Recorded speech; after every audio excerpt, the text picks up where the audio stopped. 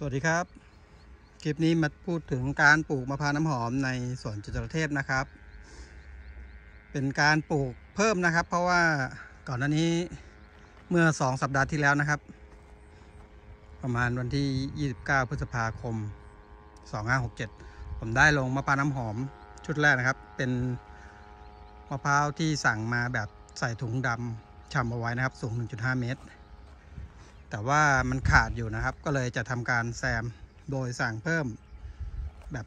ต้นเล็ก ๆ มานะครับนี่ครับ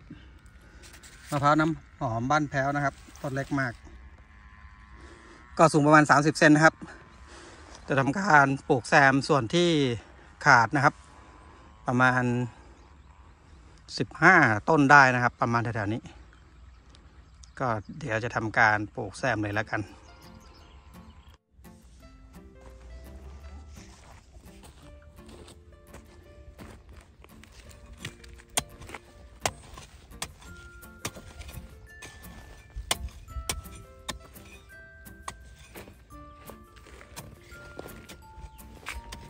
สำหรับวิธีการปลูกของผมนะครับ ก็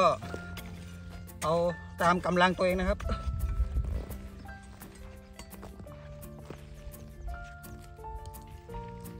ระยะปลูกคือ6คูณ6นะครับ แล้วก็เอียงผมลาดไปกับดินเลยนะครับ ไม่รู้ตำราไหนแล้วครับ แต่จะลองลาดไปกับดินเลยแล้วกัน สังเกตนะครับ ความชันตรงนี้น่าประมาณ 20 องศานะครับ เดี๋ยวเราโกยดินลง ง่ายๆอย่างนี้แหละครับ พิธีพิถันมากก็ไม่ไหวครับเหนื่อย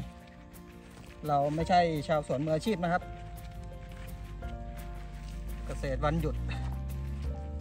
หันไปทางทิศตะวันออกครับผม หันไปทางทิศตะวันออก แล้วก็โผล่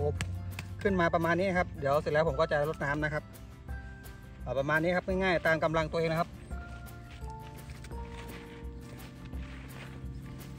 ก็ทำเป็นหลุมไว้หน่อยนะครับ ฝนตกมาจะได้มีน้ำขังหน่อย